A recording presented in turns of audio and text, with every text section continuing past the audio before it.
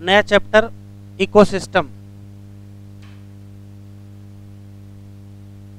दो या तीन क्वेश्चन की वेटेज, इस चार क्वेश्चन नहीं आएँगे, चार ज़्यादा हो जाएँगे। अधिकतम दो या तीन क्वेश्चन। सभी के इंट्रोडक्शन में केवल यही एक चैप्टर है, जिसके इंट्रोडक्शन से क्वेश्चन हो सकता आ ही जाए। वैसे आता तो नहीं है, क्योंकि यहाँ जो पोर्शन ये लिखा है, यहाँ सवाल आ सकता है। An ecosystem can be visualised as a functional unit of nature तो ये अभी तक कभी सवाल आया नहीं है। क्वेश्चन पूछ लेगा। फंक्शनल यूनिट ऑफ़ नेचर तो आंसर आप देंगे क्या? इकोसिस्टम और इकोसिस्टम क्या है? जहाँ लिविंग ऑर्गेनिज्म इंटरेक्ट करते हैं एमंग देमसेल्फ और also interact with the surrounding environment ecosystem varies greatly in the size from a small pond to the large forest या सी में ecologist regard the entire entire biosphere को भी क्या कहते हैं? ग्लोबल इको सिस्टम कहते हैं। जिसमें सभी local ecosystem of earth आते हैं। दिस सिस्टम चूँकि बहुत ज़्यादा बिग होता, बहुत कॉम्प्लेक्स होता है तो एक बार में स्टडी करना मुश्किल होता है। इस नाते क्या किया गया है? कि टोटल जो बायोस्फीयर है या जो ग्लोबल इकोसिस्टम है, उसको दो बेसिक कैटेगरी में बांट दिया गया है। एक बेसिक कैटेगरी कौन सी है? टेरेस्ट्रियल इकोसिस्टम और एक है एक्वेटिक इकोसिस्टम ये टिक कर लीजिए। Forest comma grassland comma desert ये किसके एग्ज़ाम्पल हैं? टेरेस्ट्रियल के हैं। जबकि पॉन्ड काम बेटा बातचीत ना करो भाई। बोलना नहीं, आवाज़ आनी नहीं चाहिए। Pond comma lake comma wetland, comma river, comma estuary, ये सब किसके एग्ज़ाम्पल हैं? एक्वेटिक के। ये भी स्पेशल एग्ज़ाम्पल क्रॉप फ़ील्ड और एक्वेरियम क्या है? तो कहोगे मैन मेड इकोसिस्टम तो यहाँ से कुछ सवाल आ सकते हैं इंट्रोडक्शन से। यही एक ऐसा चैप्टर है, जिसके इंट्रोडक्शन से कुछ ना कुछ एग्ज़ाम में आ सकता है। We will look we will first look at the structure of the ecosystem तो यहाँ देखो लिखा structure in order to appreciate the input क्योंकि किसी भी इकोसिस्टम में इनपुट का मतलब प्रोडक्टिविटी होगी, फिर एनर्जी का ट्रांसफ़र होगा, और ट्रांसफ़र किससे द्वारा होगा तो या तो फ़ूड चेन होगी, या तो वेब होगा, या तो न्यूट्रिएंट की साइकिल होगी, और आउटपुट होगा। तो किसी भी इकोसिस्टम में तीन बेसिक चीज़ें हैं। पहला इनपुट होगा, दूसरा आउटपुट होगा, और बीच में इनपुट और आउटपुट के बीच में ट्रांसफ़र होगा, जो एनर्जी का ट्रांसफ़र कर रहा होगा। बाकी इसमें कुछ खास बात नहीं है। इकोसिस्टम का स्ट्रक्चर और इकोसिस्टम का फ़ंक्शन यहाँ से क्वेश्चन आपको मिलेंगे। अक्सर एग्ज़ाम में कुछ ना कुछ आ ही रहा है। इन अर्लियर क्लासेज अभी अंडरलाइन नहीं करेंगे। You have look at the various component of the environment abiotic and biotic तो याद रखिएगा कि दो ही कंपोनेंट हैं कौन से? ए बायोटिक और biotic you study how the individuals biotic and abiotic factor affect the each other their surrounding as look at these component in the more integrated manner, see how flow of energy takes place and these component. तो यहाँ से यहाँ तक वैसे तो कोई सवाल नहीं है। इंट्रैक्शन ऑफ़ बायोटिक एंड क्या? ए बायोटिक कंपोनेंट तो जब कभी बायोटिक का ए बायोटिक कंपोनेंट से क्या होता है? इंट्रैक्शन होता है तो उसी का रिज़ल्ट है क्या? फ़िज़िकल स्ट्रक्चर ऑफ़ क्या? इकोसिस्टम तो क्वेश्चन पूछेगा इकोसिस्टम का फ़िज़िकल स्ट्रक्चर कहाँ से आता है? तो कहोगे interaction of biotic and abiotic identification and enumeration पता करो कि कौन से प्लांट और animal species of an ecosystem क्यों क्या स्पीसीज कंपोजिशन किसी भी इकोसिस्टम में प्लांट और एनिमल के जितने वैरायटीज होंगे, वो उस इकोसिस्टम की क्या होंगी? स्पीसीज कंपोजिशन होंगे. ये पॉइंट टिक कर लीजिए, ये एज सच नीट में आया हुआ है. Vertical distribution of different species occupying क्या? डिफरेंट लेवल इसको कहते क्या है? Stratification vertical distribution of species in an ecosystem किसी इकोसिस्टम में स्पीसीज का जो वर्टिकल डिस्ट्रीब्यूशन होता है, उसी को कहते क्या है? स्ट्रेटिफिकेशन और इसका एग्ज़ाम्पल भी दिया है। क्या? कि अगर हम फॉरेस्ट में जाएँ, अगर हम फॉरेस्ट में जाएँ तो जो सबसे देखा ट्री ये कहाँ पर होंगे? तो ये टॉप स्ट्रेटा पर होंगे। उसके बाद क्या मिलेंगे? सर्व मिलेंगे। और उसके बाद क्या मिलेंगे? हर्ब। और उसके बाद क्या मिलेंगे? ग्रासेज एट द बॉटम तो किसी भी इकोसिस्टम में जितनी स्पीसीज पाई जाएँगी, उनका जो वर्टिकल डिस्ट्रीब्यूशन है, वो कहा क्या जाता है? स्ट्रेटिफिकेशन और ये सवाल एग्ज़ाम में आ सकता है। फॉरेस्ट इकोसिस्टम का अगर स्ट्रेटिफिकेशन आपसे पूछा जाए तो कहोगे, टॉप पर कौन है, बीच में कौन है और बॉटम में कौन है? क्वेश्चन एज सच एग्ज़ाम में आया है। Function as a unit unit of ecosystem के फॉर्म में क्या होगा? तो कहोगे, चार हैं, एक तो प्रोडक्टिविटी होगी, दूसरा डिकम्पोजिशन प्रोडक्टिविटी का मतलब हो गया इनपुट और डिकम्पोजिशन का मतलब हो गया आउटपुट एनर्जी फ्लो और न्यूट्रिएंट साइकिल दोनों हो गए क्या? ट्रांसफ़र तीन ही तो मेन घटनाएँ होनी है। इनपुट होना है आउटपुट होना है और ट्रांसफ़र होना है। इन किसके द्वारा? प्रोडक्टिविटी से आउटपुट किसके द्वारा? डिकम्पोजिशन से। और नीचे के दो किसके लिए लिखे हैं? क्वेश्चन पूछेगा, निम्नलिखित में से कौन इकोसिस्टम की यूनिट हैं? तो ये सब की सब क्या है? यूनिट है। ये यूनिट है? आया हुआ सवाल है, कौन यूनिट नहीं है? तो भैया इन तीन, चार को छोड़ के जो है सब यूनिट नहीं। जैसे उस क्वेश्चन में ये ऑप्शन दिया था। क्या स्ट्रेटिफिकेशन यूनिट है? तो कहोगे, नहीं स्ट्रेटिफिकेशन यूनिट नहीं है।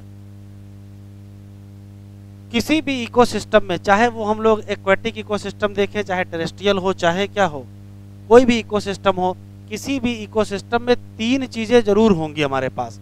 कोई ना कोई प्रोड्यूसर होगा, कोई ना कोई डिकम्पोजर होगा, और कोई ना कोई होगा जो एनर्जी को ट्रांसफ़र कर रहा होगा। और एनर्जी को ट्रांसफ़र करने वाले कंज्यूमर होते हैं। जैसे सनलाइट से एनर्जी ट्रैप हुई प्लांट में। तो प्लांट हो गए प्रोड्यूसर फिर प्लांट को इंसेक्ट ने खाया इंसेक्ट को फ्राग ने खाया और फ्राग को बर्ड ने खाया या स्नेक ने खा लिया। तो मान लेते सबसे आखिरी में जो है, ये सब लोग डिकम्पोज होंगे। जब डिकम्पोज होंगे तो एनर्जी फिर से रिलीज़ हो जाएगी। तो किसी भी इकोसिस्टम में तीन लोग ज़रूर होंगे। प्रोड्यूसर ज़रूर होगा डिकम्पोजर ज़रूर होगा और प्रोड्यूसर और डिकम्पोजर के बीच एनर्जी का ट्रांसफ़र करने के लिए कोई ना कोई क्या होंगे? कंज्यूमर होंगे, ठीक है? वो हमको यहाँ देखने को मिलेगा। किसी भी इकोसिस्टम में बायोटिक कंपोनेंट भी होंगे और ए बायोटिक कंपोनेंट। और बायोटिक कंपोनेंट में लिविंग ऑर्गेनिज्म आएँगे और लिविंग ऑर्गेनिज्म दो प्रकार के होंगे, या तो ऑटोट्राप होंगे या तो हेट्रोट्राप होंगे। और ए बायोटिक में क्या आएगा? सॉयल आएगा, वाटर आएगा टेम्परेचर आएगा, ये सब किसमें जाएँगे? ए बायोटिक में। यही सब यहाँ लिखा मिलेगा, देखो। To understand the ethos of an aquatic ecosystem aquatic ecosystem को समझने के लिए हम किसका एग्ज़ाम्पल ले रहे हैं? Small pond as a example ये क्या है? तो कहोगे सेल्फ सस्टेनेबल यूनिट है। ये सिंपल एग्ज़ाम्पल है, लेकिन ये एक्सप्लेन कर देगा किसको? कॉम्प्लेक्स एक्सट्रैक्शन को। पांड होता क्या है? तो एक सेलो वाटर बॉडी अभी तक कुछ नहीं पूछा गया है। In which all the above mention four basic component चार बेसिक कंपोनेंट ये जो लिखे हैं, चार बेसिक कंपोनेंट आप इकोसिस्टम होंगे ए बायोटिक कंपोनेंट के बारे में क्या है? तो ए बायोटिक के नाम पर वाटर मिलेगा। विद इन द डाइवर्स उसमें ऑर्गेनिक और इनऑर्गेनिक सब्सटेंस होंगे। साथ में क्या होगा? रिच सॉइल होगी, जो डिपॉजिट होगी। कहाँ? बॉटम सोलर इनपुट होता होगा। साइकिल ऑफ़ टेम्परेचर होते होंगे। Day length and other climatic condition होंगी, जो रेगुलेट करती होंगी क्या? Rate of function of entire pond तो यहाँ से यहाँ तक पढ़ने के बाद केवल एक ही सवाल मिला है। सवाल वो ये है कि जो ए बायोटिक कंपोनेंट हैं वो कौन से हैं? तो दो मिल गए। अब इसके बाद आता है बायोटिक और बायोटिक में कौन आएँगे? ऑटो ट्रैफ़िक कंपोनेंट और ऑटो ट्रैफ़िक कंपोनेंट में कौन आएँगे? फाइटोप्लैंकटन और कौन आएँगे? कुछ एल्गी और क्या आएँगे? Floating submerged and marginal plant consumer की अगर हम बात करेंगे, देखिए प्रोड्यूसर होगा, फिर कंज्यूमर होगा, फिर डिकम्पोजर होगा। कंज्यूमर की बात करेंगे तो कौन आएँगे? जो प्लैंकटन आएँगे और कौन? Free swimming and bottom dwelling क्या? एनिमल्स आएँगे। और फिर आखिरी में क्या मिलेंगे? डिकम्पोजर और उनके नाम पर पंजाई मिलेंगे बैक्टीरिया मिलेंगे और फ्लैजलेट एबंडेंट होंगे कहाँ? तो कहोगे बाटम पर। दिस सिस्टम ये जो सिस्टम है this system perform all the function all the function of an any ecosystem and biosphere as a whole इसमें होता क्या है? कन्वर्जन होता है इन इनऑर्गेनिक का किसमें organic matter with the help of radiant energy ये काम कौन करेगा? ऑटोट्राफ फिर कंजम्पशन होगा ऑटोट्राफ का किसके द्वारा? हेट्रोट्राफ फिर क्या होगा? डिकम्पोजिशन होगा और आखिरी में किसका डेड मैटर और अंततः रिलीज़ हो जाएगा, फिर से किसके लिए? ऑटोट्राफ ऐसे ही रिपीट होते रहेंगे इवेंट ये पॉइंट टिक कर लो। There is of energy toward the higher trophic level ठीक है? अंततः हीट के फॉर्म में क्या हो जाएगी लास्ट क्वेश्चन क्वेश्चन सिर्फ़ बता दीजिए। पहला सवाल एक्वेटिक इकोसिस्टम को समझने के लिए किसका एग्ज़ाम्पल लिया गया? पांड का। दूसरा पांड में ए बायोटिक में कौन कौन से हैं? वाटर है और सॉयल है। दूसरा, तीसरा बायोटिक में ऑटोट्राफिक या प्रोड्यूसर कौन है? कंज्यूमर कौन है? और डिकम्पोजर कौन है? प्रोड्यूसर दिए हैं, देखो। प्रोड्यूसर दिए हैं कौन कौन से हैं? एक ये दिया है, एक ये दिया है, एक ये दिया हुआ है। और कंज्यूमर में ये दिया है, ये दिया है, ये दिया है। और डिकम्पोजर में? ये दिया है, ये दिया ये दिया बस तीन क्वेश्चन याद रखना है। प्रोड्यूसर कौन है? कंज्यूमर कौन है? और डिकम्पोजर कौन है?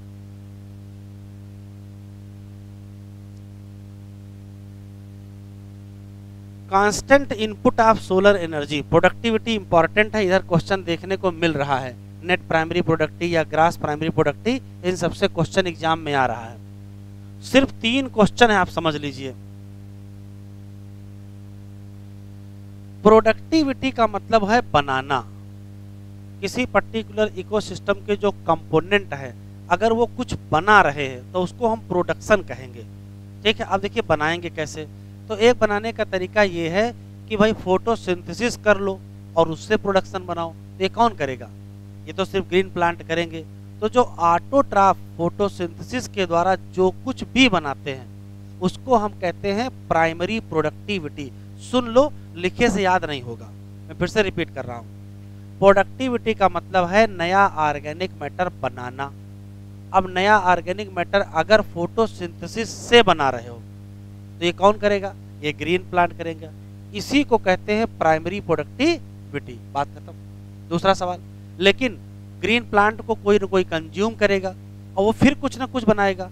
तो जो हेट्रोट्राफ होते हैं या जो कंज्यूमर होते हैं, यदि वो कोई नया ऑर्गेनिक मटेरियल बना रहे हैं तो उसी को कहते हैं सेकेंडरी प्रोडक्टिविटी तो प्राइमरी और सेकेंडरी का अंतर समझ लीजिए। फोटोसिंथेसिस से बनाओ तो प्राइमरी और कंज्यूमर बनाए तो सेकेंडरी अब ठीक है। जो प्राइमरी प्रोडक्टिविटी होती है वो भी दो प्रकार की होती है। ग्रास और नेट ग्रास समझ लीजिए, फोटोसिंथेसिस से जो टोटल बनता है, फोटोसिंथेसिस से जो टोटल बनता है, उसको क्या कहते हैं? Gross primary productivity. लेकिन फोटोसिंथेसिस से जो भी टोटल बनेगा, उसमें से जो ग्रीन प्लांट होंगे, वो कुछ ना कुछ अपने एनर्जी में यूज़ करेंगे। तो जो अपनी एनर्जी का मतलब रेस्पायरेशन में जो यूज़ हो जाए, उसके बाद जो बचेगी, वही तो नेट प्राइमरी प्रोडक्टिविटी होगी। कहने का मतलब ये है कि जो ग्रास प्राइमरी प्रोडक्टिविटी है, ग्रास प्राइमरी प्रोडक्टिविटी जो है, इसमें से रेस्पायरेटरी रेस्पायरेटरी लॉस क्या कर दो, हटा दो तो जो बचेगा वही क्या होगा? Net primary productivity. केवल पाँच क्वेश्चन है, बस, छठा सवाल नहीं है। क्या? प्रोडक्टिविटी क्या है? बनाना है। प्राइमरी क्या है? फोटोसिंथेसिस। सेकेंडरी क्या है? कंज्यूमर। जो फोटोसिंथेसिस से टोटल बने, वो ग्रास। और रेस्पिरेटरी लास्ट के बाद जो बच जाए, वो नेट तो बताओ कंज्यूमर को मिलेगी कौन सी? नेट प्राइमरी प्रोडक्टिविटी ही तो अवेलेबल होगी किसके लिए? Consumer.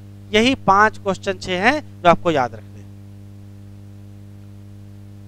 Constant input of solar energy is the basic requirement of an ecosystem to function and sustain primary production is defined as क्या? अमाउंट ऑफ़ बायोमास या organic material produce per unit area over a time period by क्या? Photosynthesis photosynthesis से जो बनेगा उसको हम लोग क्या कहेंगे? उसको कहेंगे प्राइमरी प्रोडक्टिविटी इसको हम किस फॉर्म में एक्सप्रेस कर सकते हैं? अभी तक कभी आया नहीं है। तो कहोगे वेट के फॉर्म में या इसको किस फॉर्म में? एनर्जी के फॉर्म में। रेट ऑफ़ बायोमास प्रोडक्शन को ही कहते क्या हैं? प्रोडक्टिविटी कहते हैं। इसको एक्सप्रेस करने की यूनिट है क्या? Gram per metre square per year gram per metre square per year या kilocalorie per metre square per year it can be divided into क्या? या तो ग्रास प्राइमरी प्रोडक्टिविटी या तो नेट ग्रास क्या है? तो देखो, लिखा है rate of production of organic material during photosynthesis इसमें से बहुत सारा अमाउंट यूटिलाइज कर लेते हैं. कौन? प्लांट किसमें यूज़ कर लेते हैं? रेस्पायरेशन तो ग्रास प्राइमरी प्रोडक्टिविटी में से क्या घटा दो? रेस्पायरेटरी लॉस हटा दो तो क्या मिलेगा? Net primary productivity net primary productivity ही वो है जो अवेलेबल है किसके लिए? कंज्यूमर के लिए या हेट्रोट्राफ के लिए. सेकेंडरी प्रोडक्टिविटी क्या है? तो कहोगे ये नया ऑर्गेनिक मटेरियल है, बस बनाया किसने है? किसने बनाया है? कंज्यूमर ने. Primary productivity depend on the primary productivity depend on the क्या? प्लांट स्पीसीज इनहेबिटिंग क्या particular area it also depend on various environmental factor जैसे न्यूट्रिएंट की अवेलेबिलिटी जैसे photosynthesis capacity therefore it varies in different type of ecosystem ये रटना है annual net primary productivity of whole biosphere कितना है? 170 billion ton लेकिन कह रहा है कि 70 परसेंट एरिया किसके पास है? ओशियन के पास है। लेकिन प्रोडक्टिविटी कितनी है?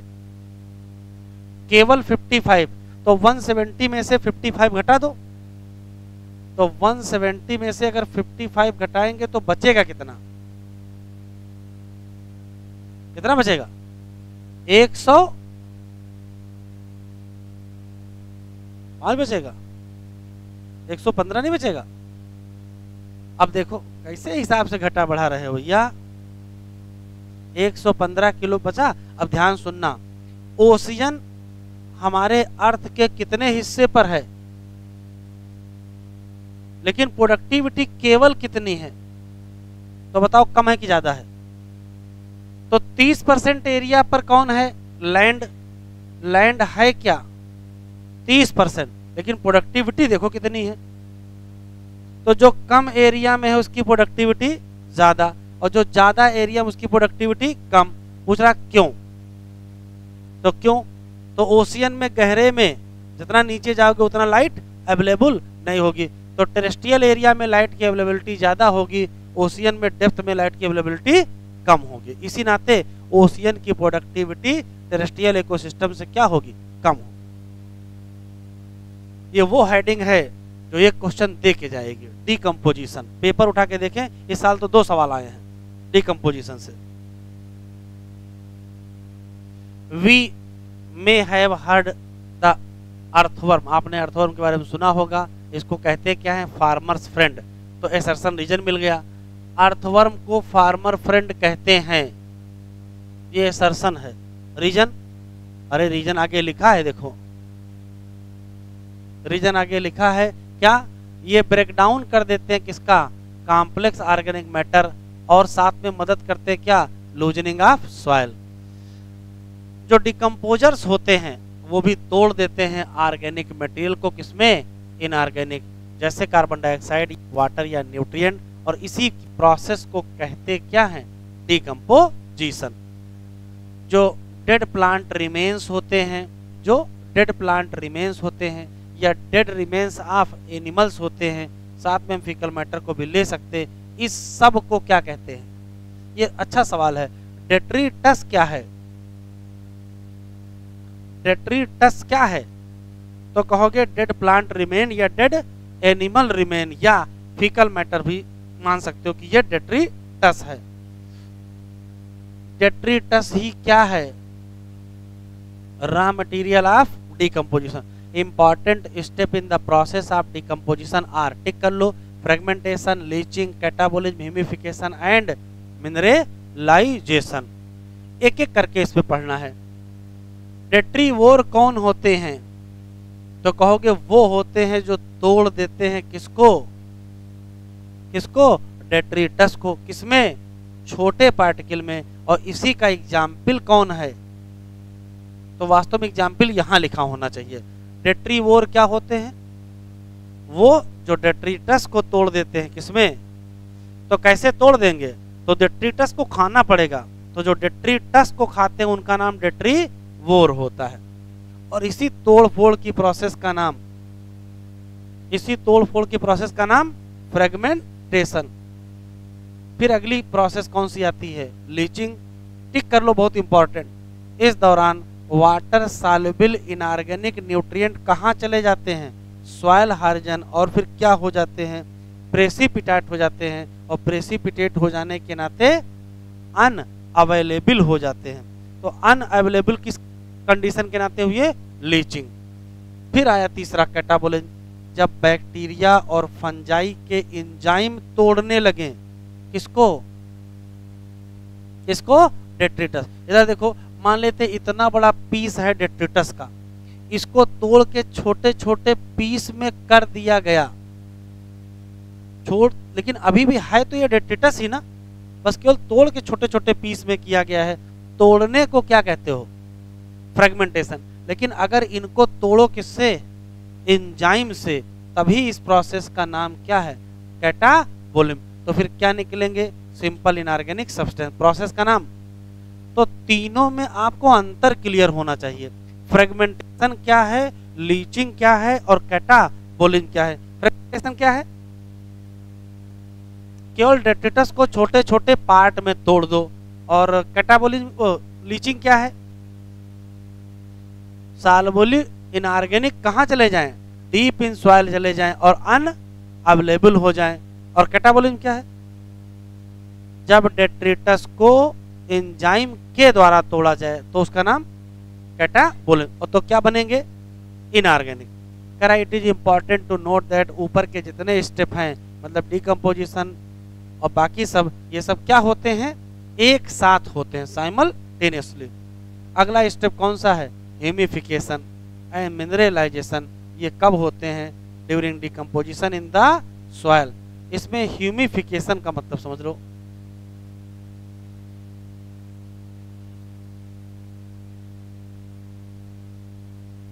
ध्यान से सुने। ह्यूमिफिकेशन शब्द का सीधा मतलब है, क्या बनाना? ह्यूमिफिकेशन का मतलब है एकुमुलेशन ऑफ़ ह्यूमस अब ह्यूमस क्या है? तो वो अंडरलाइन कर लो। डार्क कलर एमार्फस सब्सटेंस सीधी सी बात। अगर ह्यूमस एकुमुलेट हो रहा है तो प्रोसेस का नाम ह्यूमिफिकेशन ह्यूमस बहुत इंपॉर्टेंट है, इस पर क्वेश्चन आएँगे एग्ज़ाम में। ये हाईली रेजिस्टेंट होता है। इसी नाते अंडरगोज डिकम्पोजिशन क्या? बहुत स्लो रेट ये कोलॉइडल नेचर का होता है। ये सर्व करता है as a reservoir of nutrient तो इतने क्वेश्चन ह्यूमस के हैं। ह्यूमस क्या है?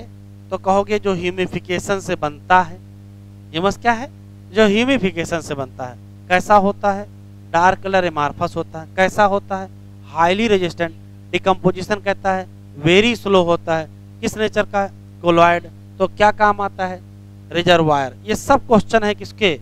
ह्यूमस के। ह्यूमस को फिर तोड़ा जाता है किसके द्वारा? माइक्रोब। और अब रिलीज़ करते हैं क्या?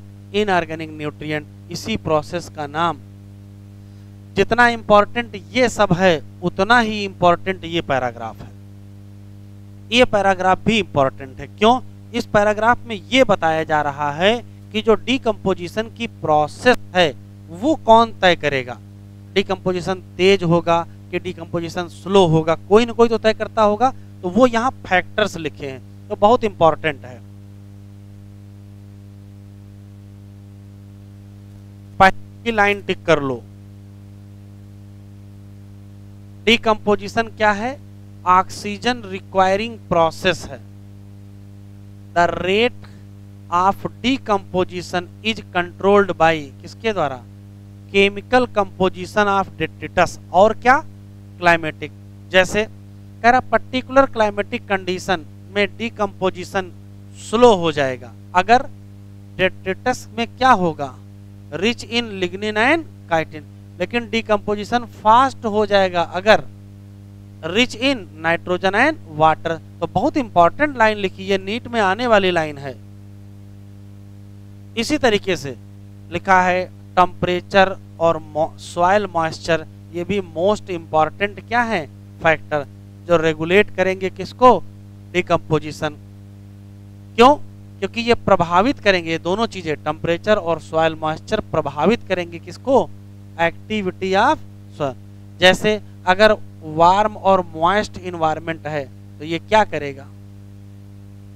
फेवर करेगा डिकम्पोजिशन को, लेकिन अगर कहीं क्या हो जाए? लो टेम्परेचर और क्या हो जाए? आयन एरोबियसिस तो फिर ये क्या करेगा? इनहिबिट करेगा किसको? डिकम्पोजिशन तो फिर क्या बढ़ जाएँगे? ऑर्गेनिक मटेरियल बहुत इंपॉर्टेंट पैराग्राफ है। Energy flow except for except for the deep sea hydrothermal ecosystem underline कर लो इसको। डीप सी हाइड्रोथर्मल इकोसिस्टम में जो एनर्जी का, लिखा है sun is the only source of energy तो यहाँ सोर्स ऑफ़ एनर्जी क्या होगा? यहाँ सोर्स ऑफ़ एनर्जी क्या होगा? तो यहाँ source of energy chemical reaction होंगे। यहाँ कीमोट्राफिक होंगे। ये सब ऑटो ट्रैफ़िक होंगे, ये सब क्या होंगे? कीमोट्राफिक होंगे। तो यहाँ सोर्स ऑफ़ एनर्जी क्या होंगे? केमिकल रिएक्शन होंगे। जितनी सोलर रेडिएशन आती हैं, लिखा है लेस देन 50 परसेंट। पचास परसेंट से भी कम क्या होती हैं? Photosynthetic active radiation we know that plant and photosynthetic bacteria fix करते हैं सन की रेडिएंट एनर्जी को, और उससे बनाते क्या है? Food from the simple organic material ये पॉइंट टिक करो। प्लांट कैप्चर ओनली कितना? दो से दस परसेंट ऑफ़ द पार। मतलब टोटल का 50 परसेंट तो पहले पार है। मान लेते 10 किलो कैलोरी एनर्जी सनलाइट के पास है, उसका 50 परसेंट ही केवल पार तो पाँच हो जाएगा। और उसका केवल दो से दस परसेंट तक का क्या हो सकता है? दो से दस परसेंट पार ही यूज़ होगा किसमें? फोटोसिंथेसिस में। It is very important to know that how solar energy capture by plant flow through different organism in an ecosystem सभी ऑर्गेनिज्म डिपेंडेंट होते हैं अपने खाने के लिए किस पर?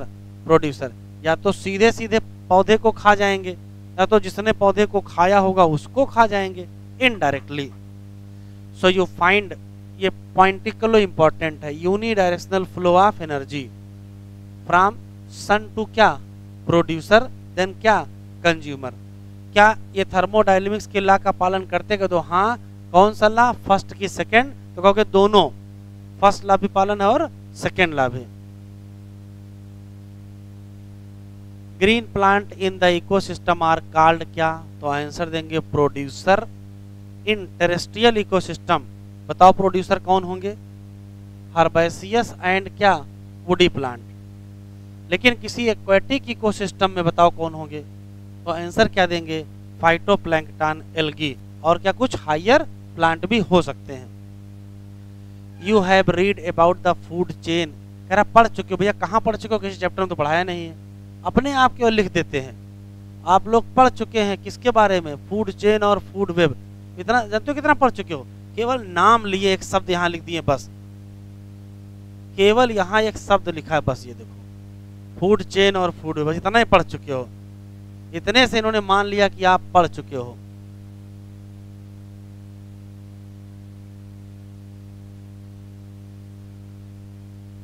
You have read about the food chain and food web that exist in the क्या?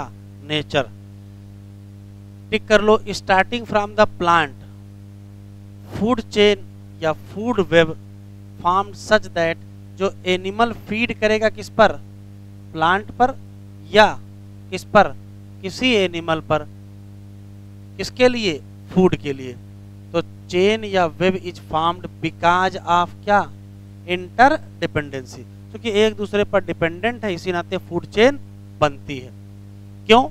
क्योंकि no energy that is trapped in an organism remain for ever permanent नहीं रहेगी जैसे मान लेते किसी पौधे ने एनर्जी ट्रैप की तो या तो उसको कोई खा ले तो एनर्जी किसी दूसरे के पास चली जाएगी। और नहीं तो जब ये मरेंगे तो सारी एनर्जी क्या हो जाएगी? रिलीज़ हो जाएगी। कहने का मतलब परमानेंट अपने पास रख नहीं सकते हैं। एनर्जी ट्रैप बाय प्रोड्यूसर या तो कहाँ पास हो जाए? कहाँ पास हो जाए? कंज्यूमर। या तो फिर, या तो फिर ऑर्गेनिज्म की जब डेथ होगी, तब एनर्जी रिलीज़ हो जाएगी। डेथ ऑफ़ ऑर्गेनिज्म जो मौत है, वो वास्तव में क्या है? क्या है? शुरुआत है। अंत नहीं है। मौत क्या है? शुरुआत है। Death is the beginning death is the end तो लोग जैसा समझते हैं कि मौत अंत है, मौत अंत नहीं है। मौत क्या है? शुरुआत है। किसकी? किसकी? Detritus food chain concept clear तो डेटिटस फ़ूड चेन की शुरुआत कब से होती है? बर्थ से। हैं? डेथ से होती है। वाह भाई वाह। अब आज समझ में आया। सभी एनिमल डिपेंड है किस पर? प्लांट पर। चाहे कैसे। या फार देयर। इस नाते इन सबको क्या कहते हो? कंज्यूमर कहते हैं।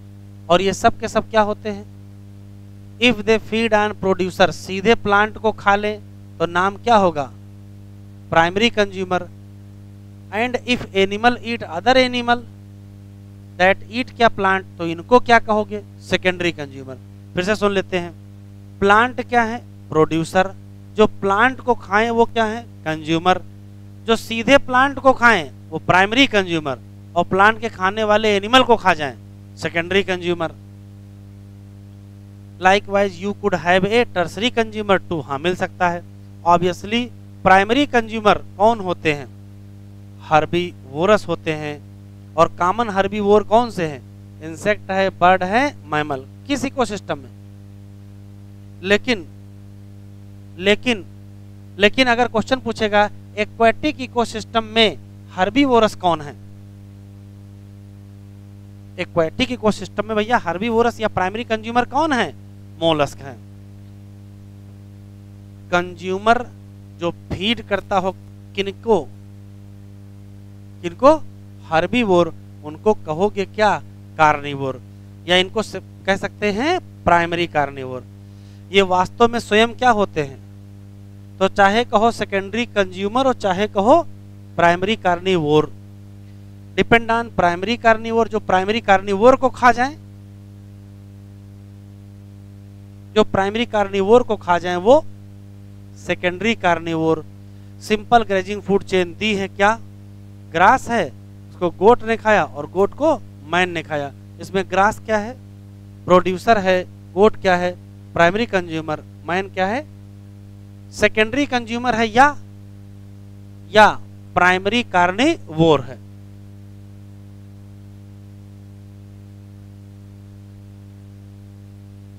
डेथ से क्या शुरू होगी? कौन से? ये लिखा है, डेथ से डेटिटस फ़ूड चेन शुरू होती है। Death is the beginning of detritus food chain. तो चाहे प्रोड्यूसर मरे, चाहे प्राइमरी कंज्यूमर मरे, चाहे सेकेंडरी कंज्यूमर मरे, चाहे टर्सरी कंज्यूमर, जैसे ही किसी की डेथ होगी, जैसे ही किसी की डेथ होगी, वैसे क्या शुरू हो जाएगा? क्या शुरू हो जाएगा? आंसर देंगे detritus food chain. Begins with dead organic matter ये किस चीज़ की बनी होती है? डिकम्पोजर जो स्वयं क्या होते हैं? हेट्रोट्राफिक मेनली फंजाई और बैक्टीरिया क्योंकि अपनी एनर्जी की डिमांड और न्यूट्रिएंट की जो रिक्वायरमेंट है, वो क्या तोड़ के डेड ऑर्गेनिक मटेरियल या डेट्रिटस इन सबको कहते क्या हैं? सेप्रोट्राफ डिकम्पोजर सिक्रिएट करते हैं किसको? Digestive enzyme that break down क्या? Dead and waste material into क्या? सिंपल इनऑर्गेनिक जो एब्जार्ब हो जाते हैं। किसी एक एक्वेटिक इकोसिस्टम में, ध्यान से बहुत बढ़िया लाइन यहाँ लिखी है आई नहीं एग्ज़ाम थे अभी तक, लेकिन उम्मीद है आ ही जाएगी। क्वेश्चन पूछेगा टेरेस्ट्रियल इकोसिस्टम और एक्वेटिक इकोसिस्टम में मेन फ़ूड चेन कौन सी है? तो देखो लिखा है, किसी एक एक्वेटिक इकोसिस्टम में major conduit of energy flow कौन करता है? कौन करता है? जीएफसी इसका मतलब है कि टेरेस्ट्रियल इकोसिस्टम में मेजर कंड्यूट ऑफ़ एनर्जी कौन करता होगा? डीएफसी करता होगा। ये याद रखिएगा, ये इंपॉर्टेंट है। जबकि टेरेस्ट्रियल इकोसिस्टम में ज़्यादातर एनर्जी का जो फ्लो है वो किसमें होता है? दैन द सी तो ये बहुत इंपॉर्टेंट सवाल हो गया। ध्यान से सुने। Major conduit of energy G F C किस इकोसिस्टम में? और major conduit of energy is DFC किसमें? टेरेस्ट्रियल डेटिटस फ़ूड चेन कहीं कहीं जुड़ी होती किससे? ग्रेजिंग फ़ूड चेन खासकर जब कोई एनिमल ओमनीवोरस होता है। जैसे लिखा है some organism of detritus food chain ये प्रे हो जाते किसके? Grazing food chain in a natural ecosystem जैसे कि काकरोच जैसे कि क्रो तो काकरोच और क्रो डिकम्पोजर में आते हैं। ये डेट्रीवोरस होते हैं ना? काकरोच डेट्रीवोरस होता है। अगर ये डेट्रीवोरस है, इसका मतलब ये डेट्रिटस फ़ूड चेन का पार्ट है। लेकिन कोई काकरोच को मार के खा जाए तो फिर किसमें चला गया वो तो? ग्रेजिंग फ़ूड में चला गया ना? तो जो लोग ओमनीवोरस होते हैं these natural interaction of food chain जब नेचुरल इंट्रैक्शन होता है फ़ूड चेन का तो बनता क्या है? फ़ूड वेब बनता है। ये भी बहुत बढ़िया इंपॉर्टेंट पैराग्राफ है। Organism occupy a place organism का एक निश्चित स्थान है। In natural surrounding are a community according to their feeding relationship Hindi में सुने, किसी एक कम्युनिटी में फीडिंग रिलेशनशिप के हिसाब से ऑर्गेनिज्म का एक निश्चित स्थान है। निश्चित स्थान होने का मतलब ये है कि कौन पहले खाएगा और कौन बाद में खाएगा। किसके पास एनर्जी पहले जाएगी और किसके पास एनर्जी बाद में जाएगी? तो देखो based on source of their nutrition are क्या? Food organism occupy a specific place यहाँ भी देखो प्लेस लिखा है। प्लेस शब्द आएगा तो स्टेटिफिकेशन मत लगाइएगा। प्लेस शब्द आएगा तो क्या लगाइएगा? ट्रैफ़िक लेबल इसमें पहला ट्रैफ़िक लेबल कौन होगा? हरबी वोरस से आगे ट्रैफ़िक लेबल बनते जाएँगे। डायग्राम देख लो इससे क्लियर हो जाएँगे। ये बहुत इंपॉर्टेंट है। जो प्रोड्यूसर हैं, वो फ़र्स्ट ट्रैफ़िक लेबल हैं। जो प्राइमरी कंज्यूमर वो, जो सेकेंडरी कंज्यूमर और जो टर्सरी कंज्यूमर वो फोर्थ ट्रैफ़िक लेवल, एक और खास बात देखो, जो फ़र्स्ट ट्रैफ़िक लेवल है वो क्या होते हैं? प्लांट। जो सेकेंड ट्रैफ़िक लेवल वो हार्बीवोर थर्ड ट्रैफ़िक लेवल वो कार्निवोर और जो फोर्थ ट्रैफ़िक लेवल वो टाप। और एग्ज़ाम्पल भी इंपॉर्टेंट है। जैसे, अगर हम कहें एक्वाटिक इकोसिस्टम है तो एक्वेटिक इकोसिस्टम में जो फाइटोप्लैंकटन है वो क्या है? फ़र्स्ट ट्रैफ़िक लेवल पर है। जबकि इसी में जो जू प्लैंकटन है वो और इसी में जो फीसेज हैं, वो थर्ड ट्रैफ़िक लेवल पर हैं और आगे दिए नहीं एक्वाटिक भैया एक दोनों एक्वाटिक में रहते हैं। इक्वेटिक के हैं। आप टेरेस्ट्रियल में आ जाओ। टेरेस्ट्रियल इकोसिस्टम में फ़र्स्ट ट्रैफ़िक लेवल पर कौन मिलेंगे? सेकेंड ट्रैफ़िक लेवल पर और थर्ड ट्रैफ़िक लेवल पर और फोर्थ ट्रैफ़िक लेवल पर। तो ऐसे क्वेश्चन देगा, चार नाम दे देगा पूछेगा एक्वेटिक इकोसिस्टम में इनके ट्रैफ़िक लेवल बताओ। तो एक्वेटिक इकोसिस्टम में फ़र्स्ट पे कौन है? देख लो, ग्रास है वाह भाई वाह। एक्वेटिक इकोसिस्टम में फ़र्स्ट पे कौन है? और फिर सेकंड पर, और थर्ड पर फ़िश है, बस। अब फ़िश ईटिंग आगे जो होंगी, जो फ़िश को खा लेंगे, वो क्या हो जाएँगे? फोर्थ ट्रैफ़िक लेवल और किसी टेरेस्ट्रियल इकोसिस्टम में फ़र्स्ट पर, और सेकंड पर थर्ड पर थर्ड पर बर्ड नहीं है। बर्ड भी तो होगी, और फोर्थ पर, ऐसे कोई चेन देगी, कोई भी चेन दिया होगा एग्ज़ाम में और आपसे पूछ लेगा, इनके ट्रैफ़िक लेवल बताओ। तो आराम से बताएँगे, जो प्रोड्यूसर होगा वो फ़र्स्ट जो प्राइमरी कंज्यूमर वो सेकंड कंज्यूमर प्राइमरी है ट्रैफ़िक लेवल सेकंड है। कंज्यूमर टर्सरी है कंज्यूमर सेकेंडरी है trophic level consumer tertiary trophic level four trophic level एक ज़्यादा होता है।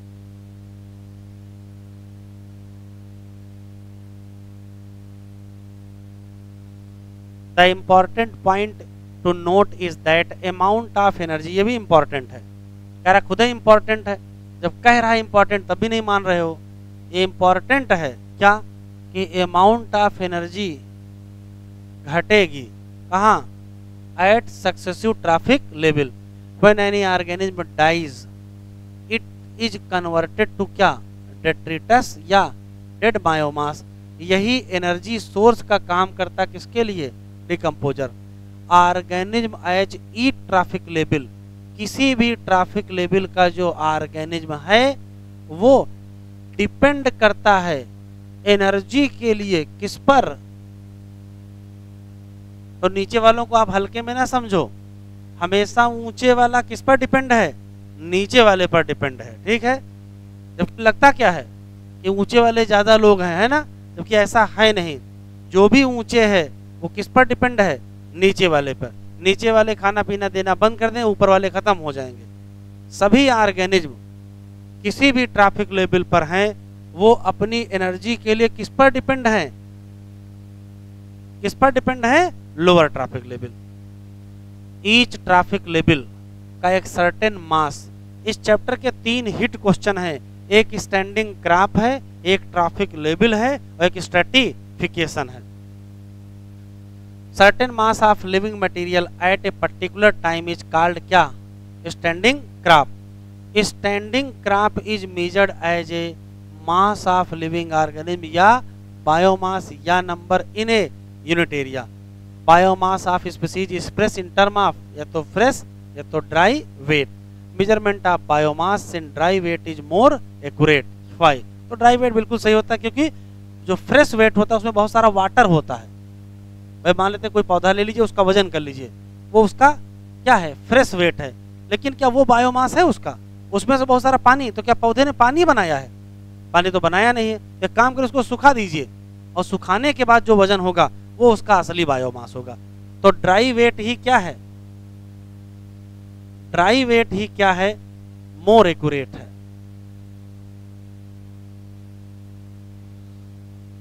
ये बहुत बढ़िया लाइन लिखी है, ये। नंबर ऑफ़ ट्रैफ़िक लेबल इन ग्रीडिंग फ़ूड चेन। ये आगे ये क्या लिखा है? सीमित होती है। क्यों? तो क्यों ये देखो लिखा है? ट्रांसफ़र ऑफ़ एनर्जी फॉलोज क्योंकि केवल और केवल 10 परसेंट एनर्जी ही ट्रांसफ़र होती है कहा? East trophic level from lower higher को कितना जाएगी? केवल 10 परसेंट ही जाएगी। तो देखो, अभी मान लेते हैं सौ है, फिर किसकी गई? दस, फिर वन, फिर ज़ीरो पॉइंट वन और फिर ज़ीरो पॉइंट अब इतनी कम एनर्जी बची है कि इसका दस परसेंट और बहुत कम हो जाएगा। तो ध्यान से सुनिएगा। Trophic level one, two, three, four तक तो समझ में आता है। ट्रैफ़िक लेवल टेन नहीं सुना होगा। क्यों? जब ट्रैफ़िक लेवल टेन कहेंगे तो बहुत एनर्जी कम हो जाएगी। तो एनर्जी इतनी कम हो जाएगी कि आगे ट्रांसफ़र करने के लिए बहुत कम बचेगी। तो फिर से पढ़ते हैं। नंबर ऑफ़ ट्रैफ़िक लेवल क्या है? रिस्ट्रिक्टेड है। इनकी सीमा है या तो तीन या तो चार। क्यों? क्योंकि एनर्जी का ट्रांसफ़र किसको फॉलो करता है? और ये कहता क्या है? केवल 10 परसेंट एनर्जी जाएगी कहाँ? इस ट्रैफ़िक लेवल कहाँ से? Lower in nature it is possible to have so many level जैसे producer herbivorous primary carnivorous secondary carnivorous in grazing food chain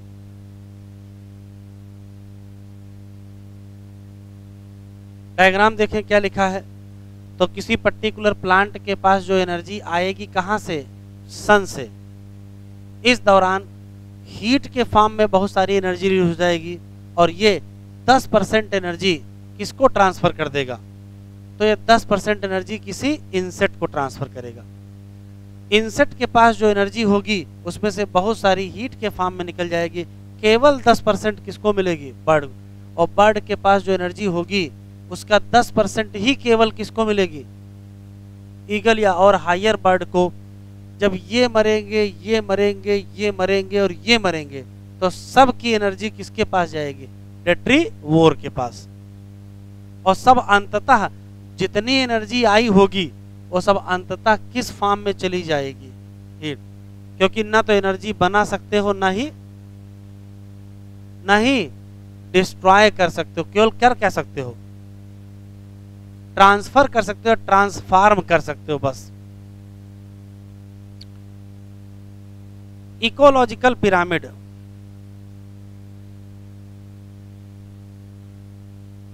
ecological pyramid में केवल तीन क्वेश्चन याद रखने हैं बस। देखो, एक होता है एनर्जी पिरामिड।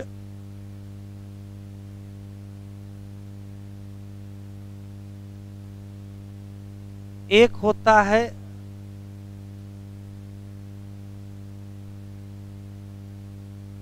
और एक होता है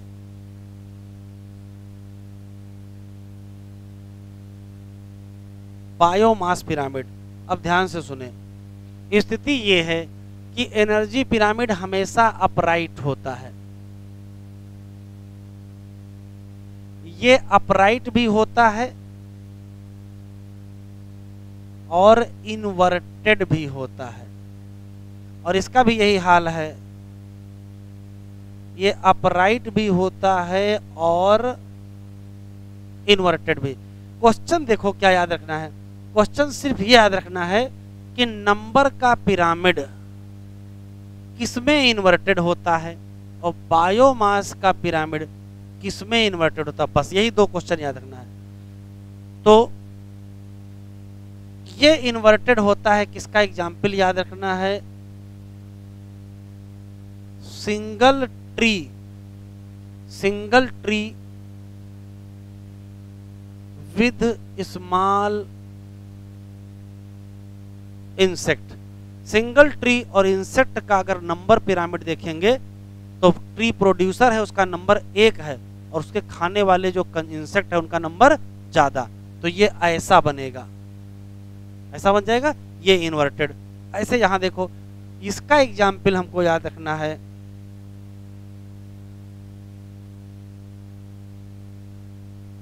बायोमास इन एक्वेटिक इकोसिस्टम बस। और इसका ऑलवेज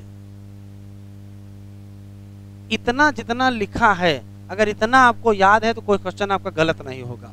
सिर्फ़ इतना याद रखना है, क्या? एनर्जी का पिरामिड नंबर का पिरामिड और बायोमास का पिरामिड तीन होते हैं। इसका हमेशा अपराइट होता है। ये अपराइट और इन्वर्टेड दोनों होता है, ये भी अपराइट और इन्वर्टेड दोनों होता है, बस इन्वर्टेड कब होता है? तो नंबर का पिरामिड इन्वर्टेड हमको इस केस में मिलता है और बायोमास का पिरामिड हमको इन्वर्टेड इस केस में। इसके अलावा कुछ याद ना रखिएगा। जो याद ना आए, वो सीधा पिरामिड। जो याद ना आए, वो सीधा बस। और याद कौन से रखने हैं? दो केवल। Single tree ecosystem single tree with insect क्या है? ये याद रखना है, क्या होता है? इन्वर्टेड, किस मामले में? नंबर के। और एक्वेटिक इकोसिस्टम में बायोमा इसके अलावा कोई भी पिरामिड आपसे पूछ ले। कोई भी पिरामिड आपसे पूछ लो समझ में ना आए तो क्या लगाओगे? आप राइट लगाओगे बस। और समझ में आ जाएगा तो दो याद आ जाएँगे। कौन से? सिंगल ट्री में नंबर का और एक्वेटिक में बायोमा ये दोनों क्या होते हैं? इन्वर्टेड बाकी सब के सब सीधे। ज़्यादा याद रखोगे, कुछ याद नहीं रहेगा। बाकी देखो कितना लिखा इससे कोई मतलब नहीं है। We must be familiar with the shape of pyramid base of pyramid हमेशा ब्रॉड होता है। ये narrow toward the apex one get similar shape whatever you express the food या energy relationship between organism at the different trophic level relationship is express in term of number या biomass या energy base of each pyramid ये अच्छी line लिखी है। किसी भी pyramid का जो बेस है, वो हमेशा किसको रिप्रेजेंट करता है? किसको? फ़र्स्ट भले ही ये इन्वर्टेड बना हो बेटा, जान लो। ये भले ही इन्वर्टेड बना हो, फिर भी ये क्या है? फ़र्स्ट ट्रैफ़िक लेवल ये क्या है? सेकंड और ये क्या है? थर्ड। भले ही आपको ऊपर चौड़ा नज़र आ रहा है तो बेस हमेशा किसको रिप्रेजेंट करेगा? फ़र्स्ट ट्रैफ़िक लेवल, जबकि एपेक्स किसको रिप्रेजेंट करेगा? टर्सरी या टॉप लेवल कंज्यूमर? तीन टाइप के इकोलॉजिकल पिरामिड होते हैं, नंबर का, बायोमास का और किसका? एनर्जी। देखो यहाँ यहाँ नंबर का ही दिया हुआ है। किसी एक ग्रास लैंड इकोसिस्टम मतलब टेरेस्ट्रियल इकोसिस्टम है प्रोड्यूसर का नंबर देखो ज़्यादा है, उससे कम प्राइमरी कंज्यूमर उससे कम सेकेंडरी कंज्यूमर उससे कम टर्सरी कंज्यूमर पूछने को तो ये भी पूछ सकता है कि इस केस में टर्सरी कंज्यूमर का नंबर कितना है। तो ये तो याद ही कर सकते हो ना, ये नहीं याद करो, ये ना याद करो, ये ना याद करो, ये याद कर लो, जो कि एनसीआरटी में दिया है। किसी एक ग्रास लैंड इकोसिस्टम में टर्सरी कंज्यूमर की संख्या कितनी है? तीन। होती कितनी होगी पता नहीं। जितना दिया उतना याद रखोगे। ऐसे ही ये देखो बायोमास का पिरामिड दिया है। ये प्रोड्यूसर हैं। तो प्रोड्यूसर का बायोमास ज़्यादा प्राइमरी कंज्यूमर का और कम सेकेंडरी का और कम टर्सरी का और कम। तो ये ऐसे ही तो बना है। ये भी अपराइट बना हुआ है। ये देखो बस उल्टा दिया हुआ है। Inverted pyramid of biomass of इस, कहाँ पर? किसी एक्वेटिक सिस्टम में। तो एक्वेटिक सिस्टम में क्या होती है? ये है प्रोड्यूसर उसका बायोमास कम है और ये है प्राइमरी कंज्यूमर उनका बायोमास ज़्यादा है। इसका मतलब कम स्टैंडिंग क्रॉप पर, ज़्यादा स्टैंडिंग क्रॉप बन गई। ये तो लिखा है स्मॉल स्टैंडिंग क्रॉप ऑफ़ किसका? ये सपोर्ट करता है किसको? लार्ज स्टैंडिंग क्रॉप ऑफ़ कुछ ना समझ में आए तो ये लाइन रट लोगे, ये लाइन ही एग्ज़ाम में आएगी। एज सच यहाँ से उठाएगा। The pyramid in which, the pyramid in which in which के बाद यहाँ शुरू करेगा। The pyramid in which, small standing crop of phytoplankton support large number of large standing crop of phytoplankton sorry zooplankton तो क्या आंसर दोगे? तो तुरंत कहोगे ये इन्वर्टेड पिरामिड ऑफ़ बायोमास है। ठीक है? ये लाइन एग्ज़ाम में आने वाली है।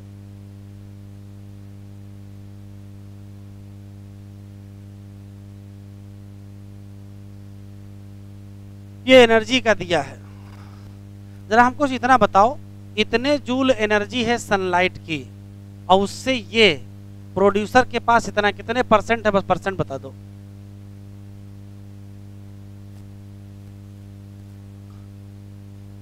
तो भैया गुड़े अगर टेन बटे सौ करोगे तो कितने ज़ीरो हटेंगे? तब तो केवल एक ज़ीरो हटेगा। कितने हटे हैं?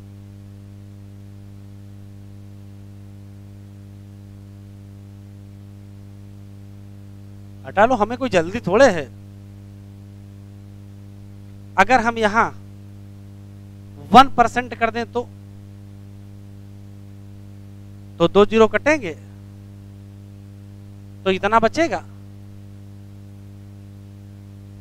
तो ये वन परसेंट है। टोटल सनलाइट का जितनी एनर्जी थी, उसका केवल वन परसेंट ही किसके पास है? अब ऐसे कैसे पता चला? तो पहले टोटल का 50 परसेंट कर दो, और 50 परसेंट का टेन परसेंट कर दो भी निकल आएगा। ठीक? अब आ जाओ। जितनी एनर्जी किसके पास?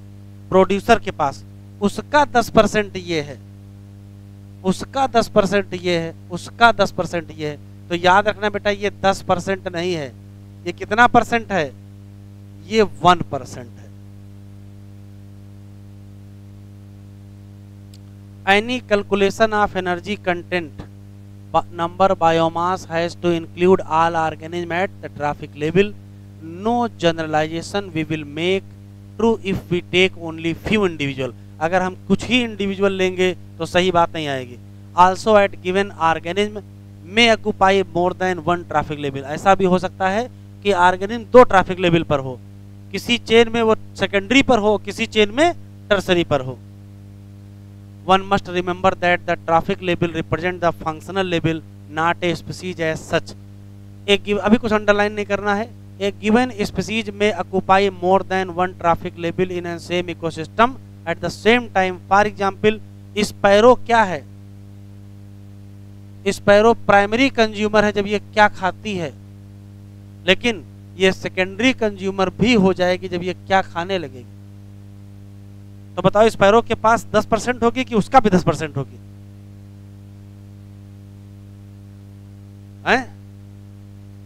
भैया, जब ये प्राइमरी कंज्यूमर होगी तो सीधे दस परसेंट मिलेगा और अगर सेकेंडरी कंज्यूमर होगी तो उसका दस परसेंट मिलेगा। तो यही तो समझाना चाह रहा है कि ऑर्गेनिज्म एक ही समय पर वो दो ट्रैफ़िक लेवल पर रोल अदा कर सकता है, जैसे स्पैरो तो कभी उसको मिल गया सीड तो सीड खा लिया, और थोड़ी देर बाद क्या मिल गया? तो इंसेट खा गया। अब बताओ, कौन से ट्रैफ़िक लेवल में सेट कर दोगे इसको? तो जो भैया, बीच में कौन सा होता है? जो खाएँगे, उस टाइम ध्यान रखेंगे। जब सीड खा रहे थे तो तो सेकेंड ट्रैफ़िक लेवल पर थे, और जब इंसेट खा रहे थे तो थर्ड ट्रैफ़िक लेवल पर थे। इन मोस्ट इकोसिस्टम सभी pyramid number energy and biomass यहाँ क्या लिखा बेटा? और यहाँ क्या लिखा है? मतलब हमेशा प्रोड्यूसर का क्या होगा? ज़्यादा होगा नंबर या बायोमास या एनर्जी किसकी तुलना में? हार्बीवोरस. और हार्बीवोरस हमेशा ज़्यादा होंगे किससे? कार्निवोरस. बस केवल एक ही अपवाद है दो। Also energy at the lower trophic level हमेशा क्या होगी? ज़्यादा than the higher there are the exception to this generalization if you were to count the number of insect feeding on big tree एक बड़े से पेड़ पर बहुत सारे इंसेक्ट हैं तो ये तो उल्टा हो जाएगा ना? रहा what kind of pyramid you get अगर अगर इसी में क्या जोड़ दो बेटा? ये बहुत बढ़िया क्वेश्चन है। अगर इसी में स्मॉल बर्ड जोड़ दो, जरा इधर देखो, मान लेते हैं कि ये एक सिंगल ट्री है।